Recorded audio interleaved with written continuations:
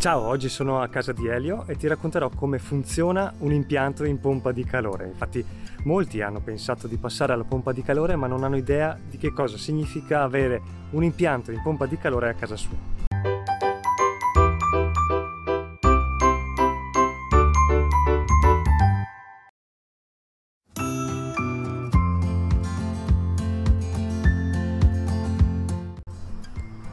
Eccoci qui, siamo a casa di Elio, ha ristrutturato casa, ha fatto il cappotto, ha fatto l'impianto a pavimento passando da radiatori a impianto a pavimento, ha fatto un impianto di ventilazione meccanica controllata e ovviamente anche eh, staccato il contatore del gas con una pompa di calore per riscaldamento e anche acqua calda sanitaria e raffrescamento.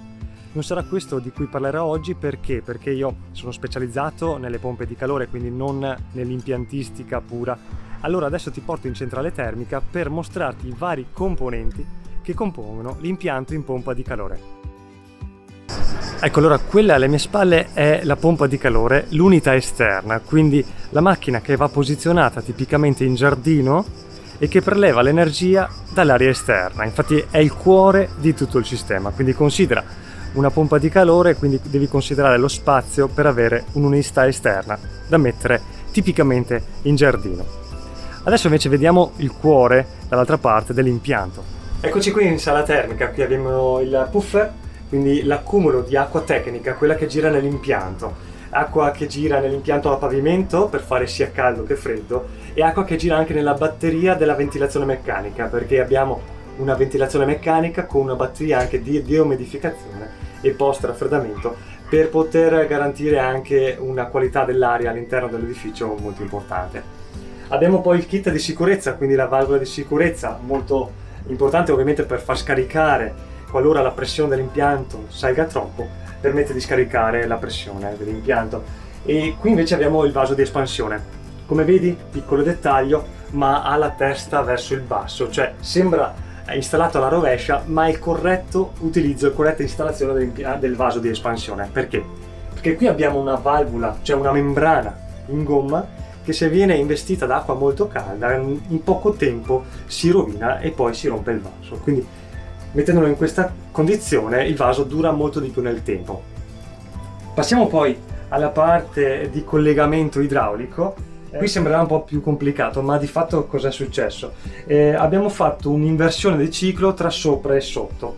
Infatti vedi che ci sono valvole a due vie che permettono d'estate di mandare l'acqua fredda direttamente nella parte bassa e poi viene ripresa dalla pompa di calore. D'inverno invece l'acqua calda viene mandata sopra e ripresa sotto. Quindi questo giro permette di invertire il puffer tra sopra e sotto con eh, tre semplici valvole. Abbiamo poi dei componenti ovviamente fondamentali. Abbiamo qui i circolatori eh, questo che permette di eh, far girare l'acqua tra la pompa di calore esterna e l'accumulo tecnico e questo che permette di far girare l'acqua tra la pompa di calore e il bollitore per l'acqua calda sanitaria. Qui poi abbiamo un defangatore su ritorno e un filtro a Y, anche questi componenti fondamentali per tenere pulito l'impianto. Senza questi componenti lo sporco andrebbe nella pompa di calore e eh, la macchina andrebbe in blocco magari in pieno inverno. Abbiamo appena visto tutta la parte di produzione del calore, quindi di generazione del calore, pompa di calore, puffer di acqua tecnica, qui invece siamo nella parte di distribuzione del calore, cioè prendiamo il calore prodotto dalla pompa di calore che può essere acqua calda d'inverno e acqua fredda d'estate per portarlo nell'impianto in casa, quindi portarlo nelle varie stanze. Cosa abbiamo? Abbiamo un separatore idraulico, ma soprattutto abbiamo un collettore che permette poi di collegare le varie pompe che fanno girare l'acqua nelle varie zone dell'impianto. Qui abbiamo eh, tre valvole miscelatrici perché come abbiamo detto prima abbiamo un impianto a pavimento e una batteria diretta, quindi una batteria che ha bisogno di prendere l'acqua più fredda possibile d'estate e più calda possibile d'inverno senza ovviamente valvola miscelatrice. Cosa sono le valvole miscelatrici? E sono delle valvole che permettono di mandare l'acqua all'impianto a temperatura diversa rispetto a quella che c'è nell'accumulo tecnico. Infatti d'inverno posso pensare di avere 50 gradi all'interno del puffer e poi qui miscelo a 35, 32, 30 a seconda ovviamente dell'abitazione e dell'edificio e usare meno acqua possibile del puffer. Il tutto per ovviamente avere il massimo comfort all'interno della nostra casa. Queste valvole miscelatrici sono comandate dalla pompa di calore in modo che possiamo avere il controllo dell'intero impianto e non che tutto venga lasciato lì a se stesso, abbandonato a se stesso senza che nessuno lo possa controllare. Per quanto poco sembra una banalità il fatto della distribuzione, però se tu hai una pompa di calore ottima e hai fatto la parte di generazione in maniera perfetta, devi garantire anche che il calore venga distribuito in maniera perfetta all'interno dell'edificio. Infatti potrei avere metà dell'impianto estremamente funzionante e poi l'acqua non gira all'interno dell'impianto a pavimento e quindi non ho comfort all'interno dell'abitazione. Ma adesso ti faccio eh, sentire le parole del cliente, nonché anche installatore, sul perché ha deciso di trasformare la sua casa in 100% elettrica. Bene, eccoci qui con Elio. Allora, Elio, perché hai avuto questa pazza idea di togliere il contatore del gas e passare a una pompa di calore in qualità di cliente? Nel 2014 ho deciso di ristrutturare casa e quindi già avevo una mezza idea di cosa volevo fare, ma eh, per motivi economici insomma non potevo fare tutto subito.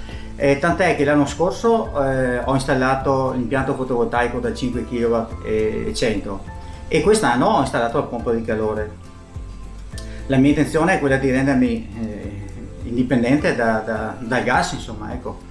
Chiaramente si consuma energia elettrica, ma avendo che il fotovoltaico sicuramente un vantaggio ce l'ho, e quindi questo è l'obiettivo. E per quanto mi riguarda l'obiettivo è raggiunto. Consiglio ai miei amici installatori di passare le pompe di calore, ma non sono tutte uguali. questo, questo ne sono convinto perché prima di installare questa pompa di calore eh, ne ho, insomma, ne ho viste, questa è quella che mi dava più garanzie anche eh, con l'aiuto di Samuele. Eh, notoriamente però il, il calzolaio va via con le scarpe rotte e quindi tu che sei un operatore del settore, cioè sei un installatore idraulico, perché l'hai installata a casa tua? Oltre ovviamente a staccarti dal gas e eh, per una questione proprio di principio. Eh, l'obiettivo principale, oltre a essere soddisfatto a casa mia, è quello di soddisfare anche il cliente, viene qua a vedere l'impianto e praticamente eh, sicuramente resterà soddisfatto perché vede, tocca con mano eh, la realtà, insomma. Ecco. Certo, qual è il miglior testimone se non proprio te stesso esatto. nel testimoniare che esatto. le cose funzionano anche senza esatto. il contatto esatto. Esatto. Grazie Elio, grazie della fiducia. Grazie a voi. Ti ringrazio e mm, come sempre se non l'hai ancora fatto iscriviti al mio canale YouTube e clicca sulla campana a fianco per ricevere in anteprima tutti i miei prossimi video e ci vediamo ovviamente alla prossima storia. Ciao!